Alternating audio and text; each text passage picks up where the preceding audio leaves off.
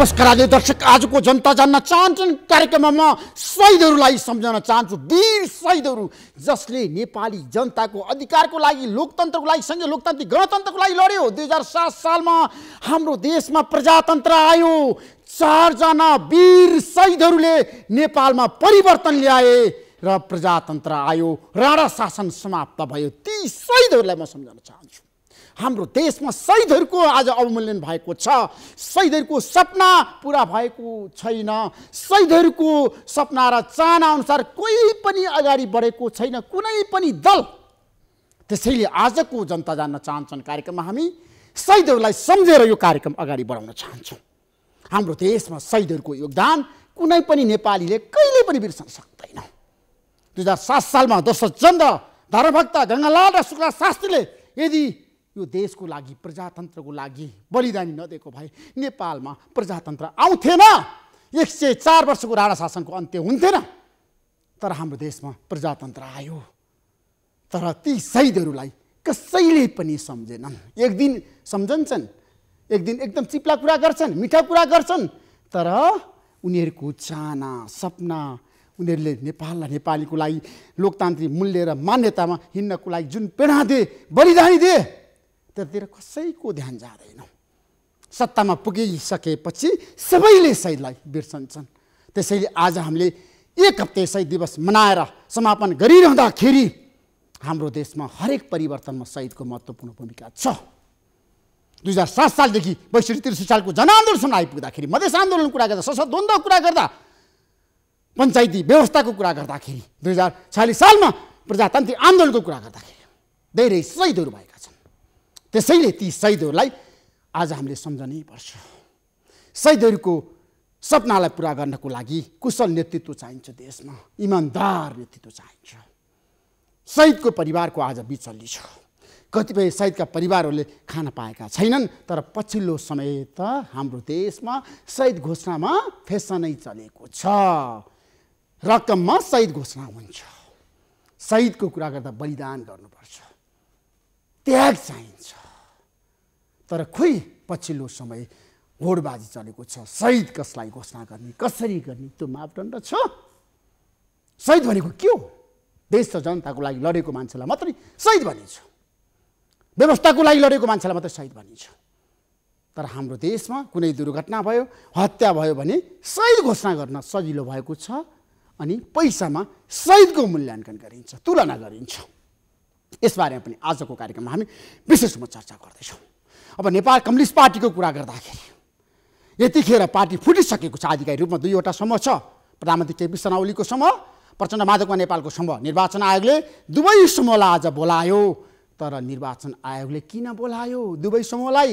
र आज प्रचण्ड माधवका नेपाल समूहले त अब केही समय निर्वाचन आयोगको गतिविधिहरू अगाडि बढाउन हुँदैन दल दर्ता अगाडि बढाउन हुँदैन भनेर भनेको छ।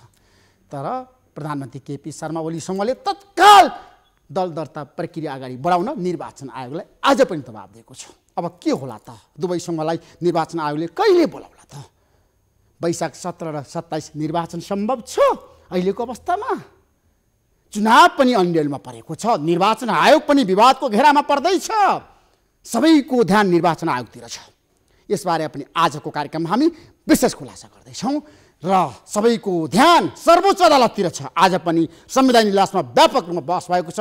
रोचक घोचक र धेरै उत्तेजनक अभिव्यक्तिहरू पनि त्यहाँ आएको छ। नआएको होइन। आजको कार्यक्रममा हामी यसबारेमा पनि विशेष रूपमा चर्चा गर्दैछौँ। प्रधान न्यायाधीशले समय छुट्याउनु भएको छ। अधिवक्ताहरूलाई समय कम गर्नुहोस् कम बोल्नुहोस् भन्नुभएको छ। तर आज वरिष्ठ अधिवक्ता रमण कुमार श्रेष्ठले त म तिन घन्टा बहस गर्छु भनेर भन्नुभएको छ।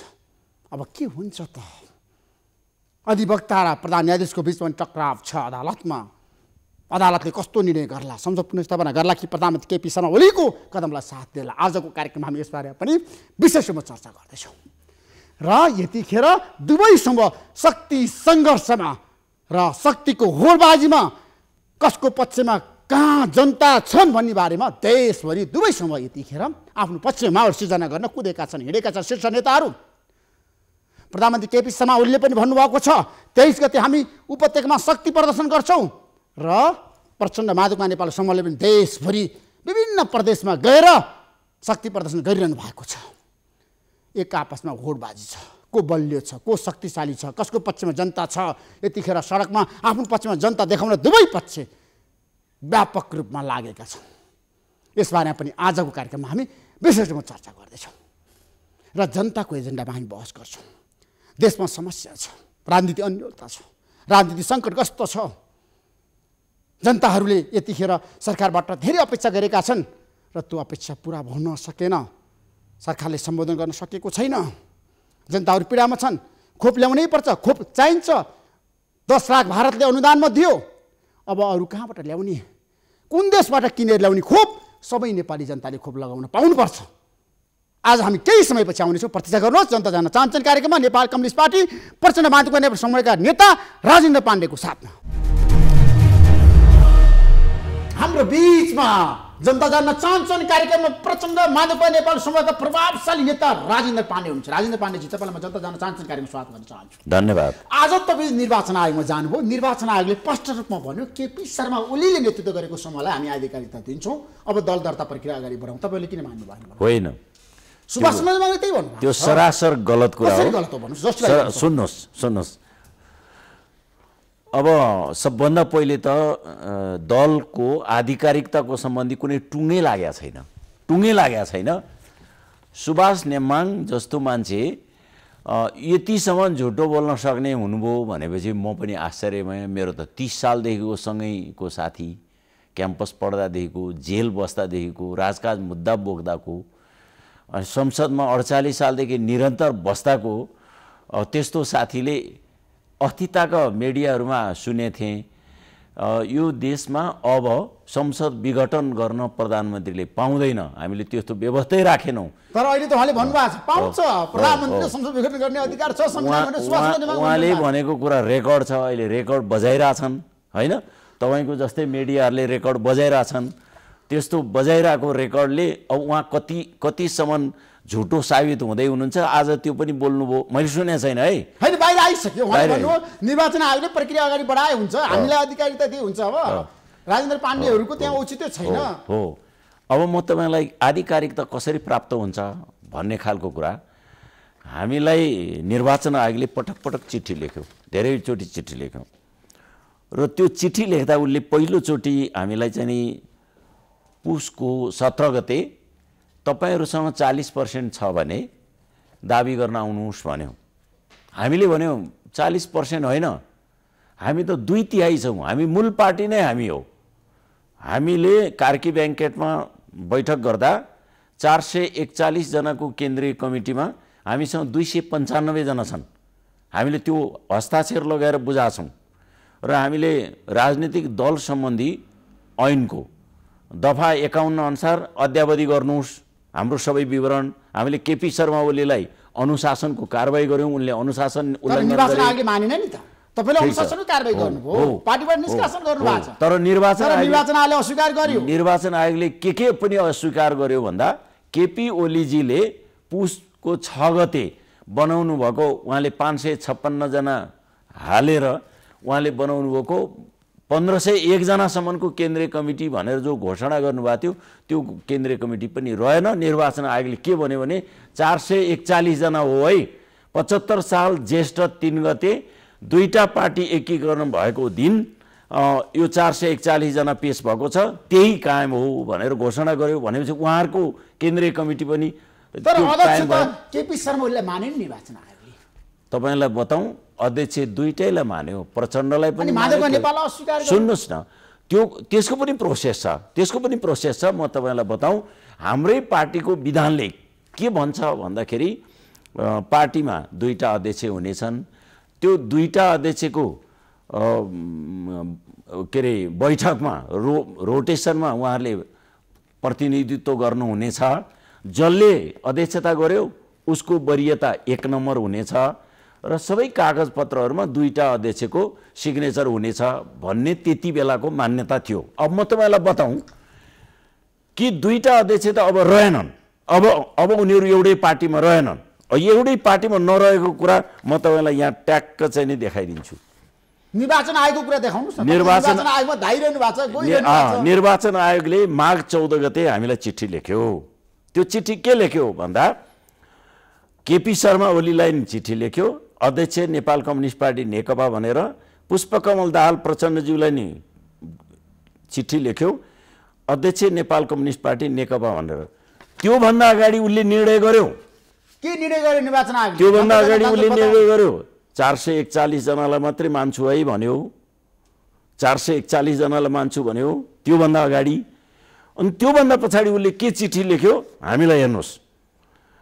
अब हामीले दुइटै अध्यक्षलाई बोलायौँ। पाँच पाँचजना प्रतिनिधि लिएर आउनुहोस् भन्यो। भने के? दुईवटा दल भनेर मान्यौँ भने होइन त्यो। अब तपाईँहरू दुईवटा भइसक्नुभयो भनेर निर्वाचन आयोगले माने हो कि होइन? तर दल फुटेको छैन भने निर्वाचन आयोगले कसरी भनिरहेको छ त? नेपाल कम्युनिस्ट पार्टी फुटेकै छैन। हो। एकातिर फुट्या छैन उही भन्छ। अनि त्यही निर्वाचन आयोगले हामीलाई चिठी दिएछ एउटै पार्टीको दुईटा अध्यक्षलाई चिठी लेख्नुपर्छ त? अध्यक्ष नेपाल कम्युनिस्ट पार्टी नेकपा भनेर चिठी लेख पुग्छ नि कुनै एउटा इस्युमा। उसले केपी शर्मा नेपाल कम्युनिस्ट पार्टीसँग। दिनमा। दुइटै अध्यक्षलाई बैठकमा पाँच पाँचजना प्रतिनिधि लिएर आउनु भने चाहिँ तपाईँहरू दुई ग्रुप हुनुभयो। तपाईँहरूका कुरा भन्न आउनुहोस् भने होइन। हामीले आज के भन्यौँ? तपाईँहरूले यो नेपालको संविधानको धारा दुई सय एकहत्तर र राजनीतिक दल सम्बन्धी ऐन दुई हजार त्रिहत्तरको दफा अडचालिस बमोजिम निर्वाचन प्रयोजनको लागि दल दर्ता गर्न सूचना प्रकाशन र आयोगका हाल हालसालका गतिविधि सुन्न आउनुहोस् छलफल गर्न आउनुहोस् भन्यो। गतिविधि सुन्न त कुनै समस्या भएन। तर राजनैतिक दल सम्बन्धी दल दर्ता गर्न सूचना त दलको टुङ्गै भएको छैन। नेपाल कम्युनिस्ट पार्टी फुटेको छैन भनेर निर्वाचन आयोग भन्छ विभाजन भएको छैन। विभाजन हामी मान्दैनौँ अस्वीकार गर्छौँ भनेर। अनि तपाईँलाई पत्र लेख्छ दल दर्ता गर्न आउनु पर्यो निर्वाचन आयोग। भनेपछि प्रधानमन्त्रीको प्रभावमा निर्वाचन आयोग पर्यो क्या हो? तपाईँलाई के लाग्छ? सुन्नु न पाँच पाँचजना दुईवटा छुट्टा छुट्टै प्रतिनिधि लिएर आउनुहोस्। अध्यक्षले रोजेको प्रतिनिधि र कानुन पनि हेर्ने प्रतिनिधि लिएर आउनु। भनेपछि निर्वाचन आयोग टेक्निकल्ली उसले नभने पनि एक किसिमले व्यावहारिक रूपले निर्वाचन आयोगको चिठीले भनिसक्यो यो दल दुईटा भइसक्यो। त्यसो भए आजबाट निर्वाचन आयोगले घोषणा गर्यो नेपाल कम्युनिस्ट पार्टी दुईवटा भयो फुट्यो। भइसक्यो। यो पत्रले। चिठीले भन्छ। अब हामीले के भन्यौँ भने हाम्रो नेताहरू काठमाडौँ भ्याली बाहिर हुनुहुन्छ अठार गतेसम्म कार्यक्रम छ। उहाँहरू काठमाडौँ आइसकेपछि हामी अध्यक्षलाई लिएरै तपाईँ कहाँ हाजिर हुन्छौँ भनेर हामीले आज पत्र दर्ता गरेर निस्किएको तपाईँ निस्किनुभयो तर सुभाष नेवाङले भन्नुभयो प्रक्रिया अगाडि बढाउनुहोस्। हो। अब तपाईँलाई सुन्नु न प्र सुभाष नेमाङजीले भनेको कुराले प्रक्रिया अगाडि बढ्छ। पहिलो त चार सय एकचालिसजनालाई निर्वाचन आयोगको आँगनमा बोलाएर ल प्रचण्ड माधव नेपाललाई अध्यक्ष मान्ने को केपी शर्मा ओलीलाई अध्यक्ष मान्ने को तपाईँहरू छुट्टिनुहोस् देखाउनु हामी हेड काउन्ट गर्छौँ नभनेसम्म टुङ्गिन्छ। यो त सम्भव छैन। त्यसो भएको हुनाले निर्वाचन आयोग तयार भएन भने? निर्वाचन आयोग तयार भएन भने के हुन्छ? निर्वाचन आगामी दिनमा प्रक्रिया? निर्वाचन आयोगले चुनाव गर्न नखोजेको ठहर छ। निर्वाचन आयोगले चुनाव चाहेको छैन? छैन छैन। म तपाईँलाई अर्को पनि बताइदिन्छु। सरकारले पनि चाहेको छैन निर्वाचन आयोगले पनि चाहेको छैन। म तपाईँलाई निर्वाचन आयोग ऐन देखाउँछु। यो आयोग ऐनको दफा उन्नाइसमा कर्मचारी नियुक्ति गर्न वा तोक्न सक्ने प्रचलित कानुनमा जुनसुकै कुरा लेखिएको भए ताने पनि निर्वाचन अवधिभर आयोगको स्वीकृति बिना कुनै पनि कर्मचारी सरुवा गर्न वा काज खटाउन पाइने छैन। तपाईँले सुन्नुभएको छ? त्यहाँको कानुन हेर्ने सहसचिव लक्ष्मी प्रसाद गौतमलाई सरकारले सरुवा गरेका छ। निर्वाचन आयोगको स्वीकृति बिना हामीले सोध्यौँ आयोगको प्रमुखलाई। अनि के भन्नुभयो त आयोगको प्रमुखले? तपाईँको स्वीकृति हो भने होइन होइन मलाई केही पनि थाहा छैन। निर्वाचन आयोगको प्रमुख आयुक्तलाई थाहा छैन? थाहा छैन। थाहा छैन मलाई थाहा छैन। यो यो सरुवामा मेरो कुनै हात छैन मलाई थाहा छैन। स्वीकृति बिना त सरकारले त सरुवा गर्यो। यसैबाट देखिन्छ। अर्को कुरा तपाईँले तपाईँको यो लोकप्रिय टेलिभिजन मार्फत म नेपाली जनताहरूलाई तपाईँले जनता जान्न चाहन्छन् भनिरहनु भएको छ बताउनु पऱ्यो नि मैले। निर्वाच राजनीतिक दल सम्बन्धी ऐन दुई हजार त्रिहत्तरको नियमावली चौहत्तर अनुसार दफा तेइसमा विवाद निरूपण सम्बन्धी सुनवाईको प्रक्रिया भन्ने विषय छ। यसमा अर्को कुरा के रहेछ? त्यो नियम छमा उपनियम छमा यस नियममा अन्यत्र जुनसुकै कुरा लेखिएको भए तापनि निर्वाचन अवधिभर विवाद निरूपण सम्बन्धमा कुनै कारवाही गरिने छैन। हाम्रो त विवाद भइसक्यो।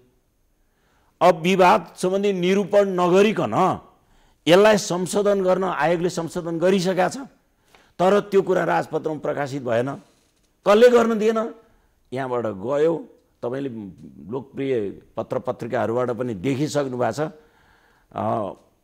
एउटा मन्त्रालयको सचिवले पत्ता लगाउनु भयो सञ्चार मन्त्रीले त्यो चिठी लिएर हिँड्नुभयो। त्यो चिठी गायब भयो। कानुन मन्त्रालयले त्यो छाप्न पाएन।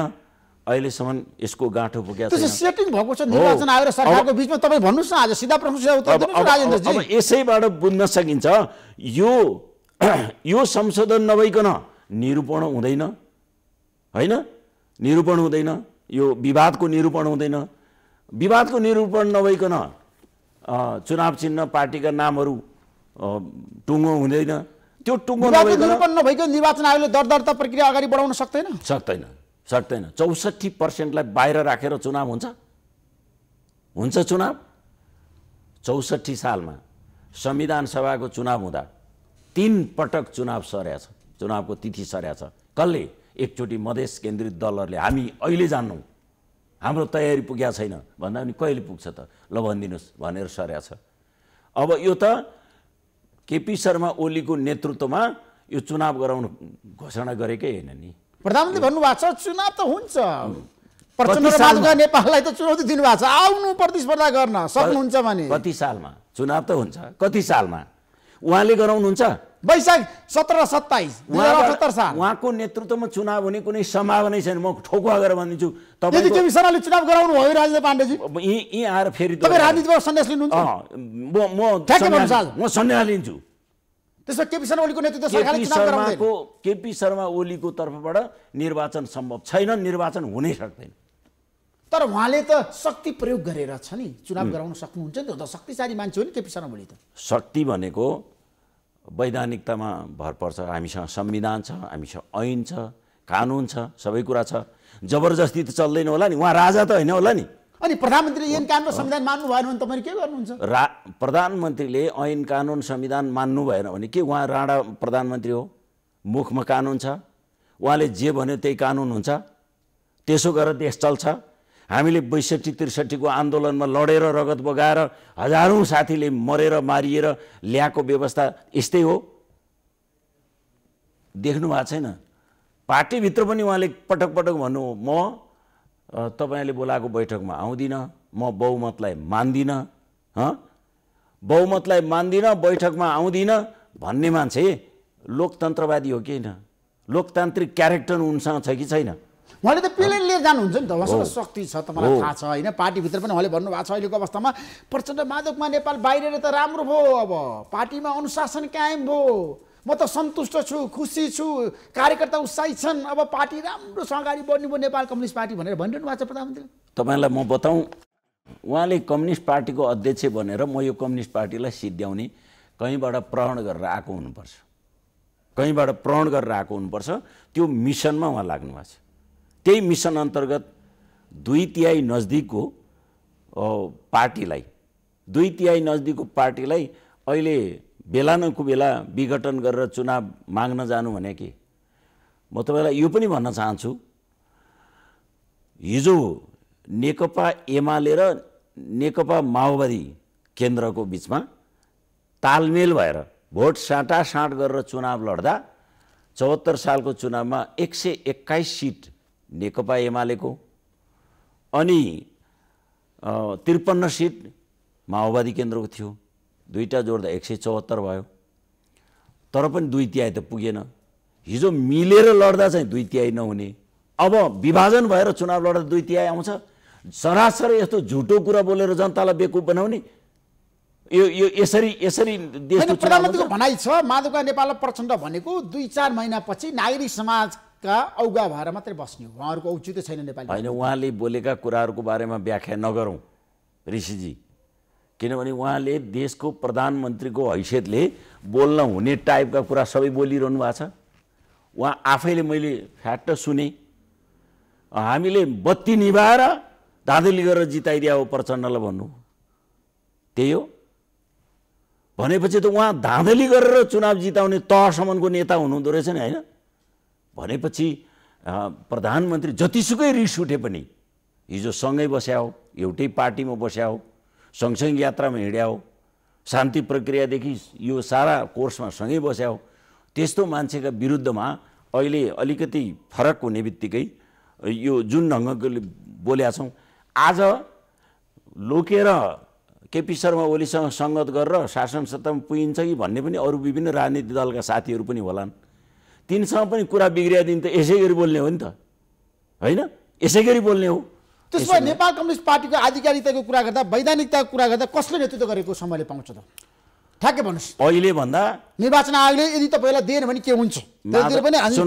प्रष्ट छ माधव नेपाल र प्रचण्ड पुष्पकमल दाहाल प्रचण्डले नेतृत्व गरेको समूह जसमा झलनाथ खनाल लगायतका नेताहरू हुनुहुन्छ त्यही समूहसँग अहिले पार्टीको केन्द्रीय कमिटीको चार सय एकचालिसजना मध्ये दुई सय पन्चानब्बेजना छौँ भने तपाईँ त्यसमा हिसाब निकाल्नुहोस् कति पर्सेन्ट भयो। त्यही समूह आधिकारिक त्यही समूहले झन्डा नाम चुनाव चिन्ह पाउँछ। सूर्य चिन्ह कसले पाउँछ? त्यही प्रचण्ड माधवका नेपाल समूहले कि केपी समूहले? प्रचण्ड माधव कुमार नेपाल समूहले नै सूर्य चिन्ह पाउँछ पाउनै पर्छ। निर्वाचन आयोगले तपाईँहरूलाई भने के हुन्छ? निर्वाचन आयोगले नदिकन सुख पाउँछ। निर्वाचन आयोगले भनेको छ नि त। होइन। अवस्थामा त केपी सनावलीले नै मान्यता दिएको छ नि त। एक नम्बरको अध्यक्ष उहाँले कसरी हुन्छ? अध्यक्ष एक नम्बर भन्ने छैन है। तपाईँलाई म विधान धेरैले भनेको छ होइन, छैन राजेन्द्रजी। छैन छैन। यही कार्यक्रममा आएर केपी शर्मा ओली भनेको एक नम्बरको होइन होइन एक। नम्बर अध्यक्ष होइन। त्यहाँ हाम्रो विधानले के भन्छ भन्दाखेरि तपाईँलाई मैले त्यो विधानै पढेरै सुनाइदिनु पऱ्यो भने म यहीँ यहीँ छ। त्यो हाम्रो विधानले प्रष्ट भनेको छ। यो विधानमा चाहिँ नि तपाईँलाई मैले यहाँ ठ्याक्कै चाहिँ नि देखाइदिने मन लाग्यो। तपाईँले चाहिँ नि यो सुन्नै चाहनुभयो। जनता जान्न चाहन्छ। हाम्रो विधानले के भन्छ भने आगामी एकता महाधिवेशनसम्मको लागि दुई अध्यक्षले आलो पालो अध्यक्षता गर्नेछन् र अध्यक्षता गर्ने अध्यक्षको वरियता पहिलो हुनेछ। के भने? को चाहिँ पहिला? दुइटैले अध्यक्षता गर्नेछ भने होइन। वरियता जसले अध्यक्षता गर्यो ऊ चाहिँ वरियता हुन्छ। तर केपी शर्मा ओलीले टिकट वितरण गर्नुभयो अरे उहाँले हस्ताक्षर गर्नु भएको छ अरे। त्यो त पार्टी गर्न भइसकेपछि पनि। त्यो त कुनै एउटा अकेजनको लागि कुनै एउटा जिल्लाको टिकटको लागि ल गर्नु त तपाईँले भनेर एउटा गुड उपनिर्वाचन हुँदाखेरि उहाँले गर्नु होइन त्यो गुड फेथमा दिएको कुरा हो। त्यो सधैँको लागि दिएको कुरा होइन। र त्यस हुनाले यी छ आधिकारिक निर्देशन र पत्राचारमा दुवै अध्यक्षको हस्ताक्षर हुनेछ। प्रष्टै लेखिया छ। विधान त मान्नु पर्ला नि त। केपी शर्मा ओलीले नि मान्नु पर्ला। यही विधान हामीले त्यहाँ उम्, निर्वाचन आयोगमा पेस गरेका छौँ। निर्वाचन आयोगले यही विधान हेरेर निर्णय गरिरहेछ। त्यसो भएको हुनाले यो विधानले पनि भन्छ। राजनीतिक दल सम्बन्धी तपाईँलाई म राजनीतिक दल सम्बन्धी ऐनले प्रष्ट भन्छ। हाम्रो हामी कसले कसले चाहिँ नि प्राप्त गर्छ? अब त्यस्तो दलका तर्फबाट आयोगमा पेस भएको केन्द्रीय समितिका पदाधिकारी र सदस्यहरूमध्ये जुन पक्षसँग त्यस्तो समितिका पदाधिकारी र सदस्यको बहुमत रहेको छ त्यस्तो पक्षलाई विवाद उत्पन्न हुनु अघिको दलको हैसियतमा मान्यता दिई अर्को पक्षलाई छुट्टै राजनीतिक दलको रूपमा मान्यता दिई दर्ता गर्नुपर्नेछ प्रश्न छ? निर्वाचन आयोगले मानेन प्रधानमन्त्रीकै नेतृत्वको समूहलाई चाहिँ वैधानिकता दियो नेपाल कम्युनिस्ट पार्टीको आधिकारिकता केपी शर्मा ओलीले पाउनु भयो भनेर घोषणा गर्यो भने तपाईँहरू के गर्नु त्यतिखेर तपाईँहरू विकल्प के छ? होइन होइन। हामी त सडकमा छौँ आन्दोलनमा छौँ होइन? आन्दोलनमा छौँ सङ्घर्षमा छौँ। तर प्रष्ट कुरा के छ भने निर्वाचन आयोग विद्यमान ऐन कानुन संविधान नमानिकन निर्णय गर्छ भने त्यो आयोग किन रहनु पर्यो? त्यो आयोगको औचित्य सकिन्छ आयोगको औचित्य समाप्त हुन्छ। त्यसमा तपाईँहरू आयोगको विरुद्ध पनि जानुहुन्छ होइन होइन त्यस्ता आयोग त्यो जुन आयोगले उसले चाहिँ संविधान मान्दैन कानुन मान्दैन हाम्रो पार्टीको तर्फबाट दिएको विधान मान्दैन। अनि उसलाई चाहिँ हामीले मान्नु पर्यो किन? किन मान्नु पर्यो जनताले आयोग? संवैधानिक आयोग हो नि त निर्वाचन संवैधानिक आयोग त हो। उसले संवैधानिक आयोगले त इमानपूर्वक नेपालको संविधान नेपालको विद्यमान निर्वाचन सम्बन्धी ऐन कानुनहरू मान्नु पर्दैन उसले उसले के मन लाग्दी चाहिँ नि निर्णय गर्न पाउने हो र? जे मन लाग्यो त्यही निर्णय गर्न पाइन्छ। कुनै ऐनको दफा टेक्नु पर्दैन। त्यस हुनाले यस्तो कुरा हुँदैन। होइन प्रधानमन्त्री र प्रमुख निर्वाचन आयुक्तको बिचमा कुरा मिलेको छ भने के हुन्छ त्यतिखेर? त्यस्तोमा प्रमुख निर्वाचन आयुक्तले इमान छोड्नुभयो भने उहाँ यही धरतीमा बाँच्ने होइन र। मान्छे त्यो पदबाट बाहिर निस्किया दिन पनि त बाँच्नु त पर्छ नि पर्दै कि पर्दैन उहाँले आफ्नो दर सन्तानहरू दसौँ पुस्तासम्म निधारमा कलङ्कको टिका लाउने छोरा नाति पनातिहरू पनि चोकमा निस्केर चिया खान नपाउने स्थिति सिर्जना हुन्छ कि हुँदैन भोलि? आज म देखिरहेको छु। सुभाष नेमाङको म बच्चा हो छोराछोरी हो भन्नेले भोलि मुख देखाएर हिँड्न गाह्रो छ। किनभने सरासर झुटो बोल्नुभयो उहाँले। त्यसै गरी बोल्दै हुनुहुन्छ। मलाई भन्न पनि बडा गाह्रो छ। लामो अवधिदेखि सँगै बसेको साथी एउटै मुद्दामा एउटै केसमा जेल बस्या एउटै पार्टीको हामी झापा आन्दोलनसँग सम्बन्धित भएर सुरुवात गरेको राजनीति। यति सरासर झुटो बोल्न सक्नुहुन्छ भन्ने त मैले त पत्याएको थिइनँ। त्यसो भए राजेन्द्रजी अब निर्वाचन आयोगले तपाईँलाई वैधानिकता दिएन भने चुनाव पनि हुँदैन। वैधानिकता त नदी सुखै छैन। यसमा तपाईँले कुरै गर्नु परेन किनभने संविधानले ऐनले स्वयं निर्वाचन आयोगले भनेको छ नि चार सय एकचालिसजना तपाईँहरूको केन्द्रीय सदस्य हो भनेको छ। त्यो चार सय एकचालिसजनाको भोटिङ हुनु पऱ्यो नि त को कतापट्टि हो भनेर त्यो निरूपण गर्ने काम त निर्वाचन आयोगको हो नि। त्यो निरूपण गर्ने बित्तिकै यो सबै ठेगान लाग्छ। म तपाईँलाई एउटा सानो कथा सुनाउँ एक सेकेन्डमा। त्यो के हो त भन्दाखेरि चौरमा घोडा चलिरहेको थियो अरे। चार पाँचजना तर्कशास्त्रीहरू विद्वानहरूले छलफल गरे। यो घोडाको मुखमा दाँत कतिवटा छ? कसैले बाह्रवटा भन्छ कसैले पच्चिसवटा भन्छ कसैले अठाइसवटा भन्छ। त्यो सहिसले सुनिरहेछ घन्टौँ भइसक्यो उनीहरूको तर्क। उनीहरूले यहाँ आउनुहोस् त। के पऱ्यो तपाईँहरूको? भन्दा घोडाको दाँत कतिवटा छ। हे सिल्ली मान्छे हो तपाईँहरू। धेरै धेरै पढाए मान्छे विद्वान भने त। ल आउनुहोस्। भने घोडाको मुख च्यापस मात्र मुख च्यातिदिएर लगाउनुहोस् भनेको थियो अरे। त्यसै गरी घोडाको मुख च्यातेर दाँत गने गने भइगयो नि निर्वाचन गर्ने भयो होइन निर्वाचन आयोगले होइन? तपाईँहरू उपस्थित तयार गने गने भइगयो नि। किन लामो कुरा? त्यसो भए। अब लागौँ संसद पुनर्स्थापनातिर। कति सम्भव कति असम्भव? म त के देख्छु भने संसद पुनर्स्थापना सम्भव छ। कसरी छ? जस्टिफाई गर्नुहोस्। किन सम्भव छ भने हामीले संविधान निर्माण गर्दा बहुमतको प्रधानमन्त्रीले सरकार बनाउने व्यवस्था। दुई वा दुईभन्दा दल मिलेर सरकार बनाउने व्यवस्था। दुइटैले नगर्दा ठुलो पार्टीले सरकार बनाउने व्यवस्था। यो तिनवटा स्टेज पार गरिसकेपछि सरकार बनाउन नसक्दा एउटा साम सांसदले राष्ट्रपतिसँग म तिस दिनभित्र यो बहुमत पुर्याउन सक्छु विश्वासको मत लिन सक्छु भनेर मागेर प्रधानमन्त्री बनेको प्रधानमन्त्रीले मात्रै विघटन गर्नु पाउँछ। केपी ओली त्यस्तो होइन नि। छयत्तरको दुई अनुसार दुईवटा पार्टी मिलेर जोडिएर बनेको प्रधानमन्त्री चौसठी प्रतिशत मत थियो त के बिसारा ओलीसँग त दुईवटा जोडिएर। दुईवटा जोडियो दुईवटा पार्टी जोडिएपछि उहाँले उहाँ एक्लैले बहुमत थिएन। एक सय अडतिसजना चाहिन्थ्यो दुई सय पचहत्तर मध्ये। उहाँसँग एक सय एक्काइस मात्रै थियो। त्यस कारण एक्लैले सम्भव थिएन। दुईवटा पार्टी जोडिएपछि उहाँले बहुमत पुर्याउनु भयो अब बहुमत पुर्याएको बहुमत भइरहेको प्रधानमन्त्रीले विघटन गर्ने व्यवस्था छैन।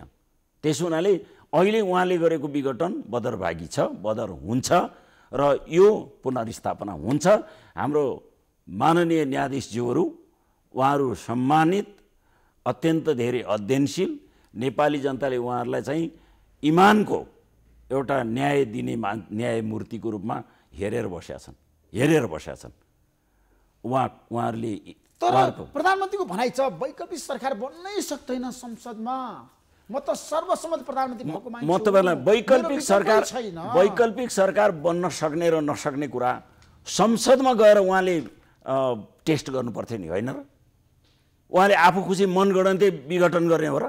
उहाँले पहिला संसद बैठक बोलाउनु पर्थ्यो। ल मलाई समर्थन छ कि छैन म टेस्ट गर्छु। अन्यथा म विघटनमा जान्छु। भन्न सक्नु पर्थ्यो। सांसदले जे गर्थे त्यही गर्थे नि त।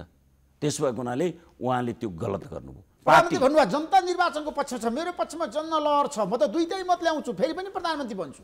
त्यो दुई तिहाई भने त गफै हो। किन गफ हो त? भन्दा दुईवटा पार्टीले तालमेल गरेर एकले अर्काको भोट साँटा साँटेर गरेर गर्दा त एक सय चौहत्तर भोट एक सय बयासी चाहिन्छ दुई तिहाईले। त्यति बेला त नपुग्यो अब दुईवटा पार्टी दुईवटा भएर चुनाव लड्दा एउटै पार्टी आउँछ दुई तिहाई गफमा हो। गफमा हो भाषणमा हो। अलिदिन जनतालाई बेकुब बनाउन सकिन्छ।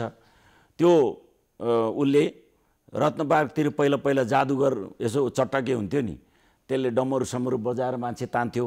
ल म पानीमा आगो बाल्छु मान्छे उडाउँछु होइन? यस्ता यस्ता कुरा गर्थ्यो। मान्छे त्यो पनि पत्याएर घन्टौँ हेरिरह हुन्थ्यो कि। अहिले अहिले हामी त्यस्तै हेरिरहेछौँ होइन? पानीमा आगो हाल्छु मान्छे उडाउँछु भनेको कुरा पत्याएर हामी हेरिदिइरहेछौँ। यो पत्याएर लाग्ने कुरा होइन। यो त्यसो भए संसद पुनर्स्थापना गर्नै पर्छ सर्वोच्च अदालतले। सर्वोच्च अदालतले संसद पुनर्स्थापना गर्छ मलाई पूर्ण विश्वास छ। न्यायमूर्तिहरू पनि विभाजित हुन सक्छन् नि त। चोलेन्द्र शमशेर जवाराले तपाईँहरूलाई साथ दिनु होला न्याय न्यायमूर्ति विभाजित हुँदा पनि त्यहाँ पाँचजना हुनुहुन्छ। कुनै एकजनाले निर्णय गर्ने कुरा त होइन नि। पाँचजना हुनुहुन्छ। त्यो पाँचजनामध्ये तिनजना एकापट्टि उभिए पुग्छ। त्यस हुनाले मलाई विश्वास छ। संसद पुनर्स्थापना हुन्छ न्यायमूर्तिहरूले सही न्याय दिनेछ। त्यसो भए अब बागमती प्रदेशमा तपाईँ नेपाल कम्युनिस्ट पार्टीको एकदम प्रभावशाली नेता। अब मुख्यमन्त्री हटाउन तपाईँहरूलाई अझै पनि हम्मे हम्मे परेको छ त। डोरमणि पौडेलले त पेरेल लिएर जानु पनि तपाईँहरूलाई त। नेपाली हामी? हामीसँग पैँतालिसजना छौँ हाम्रो दलमा। हामी दलभित्र बहुमत छौँ। पैँतालिसजना मध्ये हामी नेपाली काङ्ग्रेसका साथीहरूले साथ दिनुभयो भने हामी जित्छौँ। नेपाली कङ्ग्रेस साथ दिएन भने के हुन्छ? मुख्यमन्त्री को भन्छ पौडेल भन्नुहुन्छ। नेपाली काङ्ग्रेसले साथ दिएन भने हामीले अविश्वास प्रस्तावमा चाहिँ हार्छौँ। तर हाम्रो तर्फबाट अविश्वास त भइसक्यो। उहाँसँग बहुमत हुँदैन। उहाँले बहुमत सिद्ध गर्नुपर्छ अनि त्यसपछि विश्वासको मत प्राप्त गर्न सक्नुहुन्न लिनुपर्छ उहाँले। उहाँले विश्वास मुख्यमन्त्री को भन्छ त? मुख्यमन्त्री अहिले त हामीले अष्टलक्ष्मी साक्यलाई नै मुख्यमन्त्री बनाउने भनेर अगाडि सारेका छौँ। हाम्रो दलको नेता पनि उहाँलाई नै बनाएको छौँ। त्यसो उहाँले उहाँ नै बन्नु होला। नेपाली कङ्ग्रेसको समर्थनमा अष्टमी साके मुख्यमन्त्री बन्नुहुन्छ। बन्नुहुन्छ। त्यसमा तपाईँहरू आलो पालोमा जान सक्नुहुन्छ बागमती प्रदेशमा कङ्ग्रेस त्यो- बिच सम्झौता हुन राजनीतिक समीकरण पनि मुख्यमन्त्रीको दावेदारको रूपमा आउनु भएको छ। राजनीतिक समीकरणमा सरसल्लाहमा यस्तो कुरा हुनसक्छ हुनसक्छ हुनसक्छ हुनसक्छ त्यो सहमति बन्न सक्छ। अब कङ्ग्रेसलाई तपाईँहरू सँगै आन्दोलनमा लिएर जान सक्नुहुन्छ। मलाई लाग्छ सम्भावना छ। मलाई लाग्छ नेपाली काङ्ग्रेस संयुक्त आन्दोलनको कुरा गर्दा। नेपाली काङ्ग्रेस लामो समयदेखि लोकतान्त्रिक आन्दोलनको एउटा नेता पार्टी हो। होइन? लामो समयदेखि। उसले लोकतन्त्रको लागि लड्या छ। लोकतन्त्रको लागि लड्दा धेरै नेपाली काङ्ग्रेसका नेताहरू मारिएका छन् जेल बिताएका छन् सारा कुराहरू छन्। त्यसो भएको हुनाले मलाई लाग्छ यो लोकतान्त्रिक आन्दोलन हामीले यो संसद विघटन होइन संविधान विघटन हो। यो केपी शर्मा ओली प्रधानमन्त्री भएर यो बहत्तर सालमा जारी गरेको सङ्घीय लोकतान्त्रिक गणतन्त्रको संविधान विघटन हो। त्यसो भएको हुनाले यो संविधान विघटन भयो अब संविधान समाप्त भयो अब अब यो संविधानलाई समाप्त पारेर नयाँ ढङ्गले जाने प्रयत्न छ केपी शर्मा ओलीजीको। पाइलो यसो हेर्दा के के देखिन्छ? हालसालै उहाँ पशुपति जानुभयो। मान्छेले देख्दा ओहो पशुपति विदेशी त आएर पशुपतिमा पूजा गर्छ भने नरेन्द्र मोदीले गर्नुभयो देशको। प्रधान देशको प्रधानमन्त्री जानुभयो भव्य राम्रो काम गर्नुभयो। के? पशुपतिनाथको आस्थाले नै पैँतालिस मिनट बसेर पूजा गरे होलान् केपी शर्मा ओलीले? दुनियाँ जनतालाई बेकुब बनाउनको लागि गरे हो। औषधि किन्ने पैसा छैन। त्यहाँ पैसा दिनु पऱ्यो मैले सुनेको छु। तिस करोड दिने निर्णय गर्नु पऱ्यो यो कोभिड उन्नाइसको पीडित जनताहरूलाई औषधि किन्ने पैसा छैन अहिले। त्यो त्यो कुरातिर उहाँहरूको ध्यान छैन। त्यसो हुनाले यसो हेर्दाखेरि नि पशुपतिनाथ जाने त्यहाँ पैसा दिने यस्तै यस्तै कुरा जाँदा उहाँको यो सङ्घीय लोकतान्त्रिक गणतन्त्रलाई समाप्त पार्ने दाउ छ। उहाँको छोरी एउटा सांसदले सङ्घीय व्यवस्था फ्याँक्नुपर्छ यो सङ्घीयता समाप्त गर्नुपर्छ भनेर बोलिसकेको छ। मलाई लाग्छ उहाँले बोल्न लगा हुनुपर्छ। निरूपालले बोलिसक्नु। बोल्न उहाँले बोल्न लगा हुनु हुनुपर्छ। त्यसै त बोल्दैन नि। सङ्घीय लोकतान्त्रिक गणतन्त्र समाप्त पार्ने केपी ओलीको रणनीति हो। रणनीति हो। यो प्रष्ट हो। त्यो सफल हुन्छ असफल हुन्छ? त्यो असफल हुन्छ। असफल पार्न सक्नुहुन्छ? असफल बनाउनुपर्छ। असफल बनाउनुपर्छ। त्यो असफल बनाउने अभियानमा तपाईँ पनि लाग्नुपर्छ। नेपाली कङ्ग्रेसलाई तपाईँहरू सँगै लिएर जानुहोस् न। हामी तयार छौँ। कता कता शेरबहादुरजीलाई यसो केही केही भ्रम पनि हुनसक्छ। मैले त अब लामो अवधिदेखि शेरबहादुरजीसँग संसदमा सँगै बस्या। एक खालको चाहिँ नि नजिकको मित्र लाग्छ। अब उहाँलाई केही केही भ्रम छ भने त्यो भ्रम चिर्नुपर्छ। उहाँले पनि आन्दोलनमा नआइकन सुख छैन। आउनुपर्छ। उहाँ हामी सबै भएर यो आन्दोलनमा जानुपर्छ र यो आन्दोलन सफल बनाउनुपर्छ। Thank you so much Rajendra Pandeji. मलाई पनि मलाई धन्यवाद दिन चाहन्छु। केही कुराहरू राख्ने अवसर दिनुभएकोमा अ, तपाईँ सहित यो सिङ्गो टेलिभिजन परिवारलाई हार्दिक धन्यवाद थ्याङ्क यू सो मच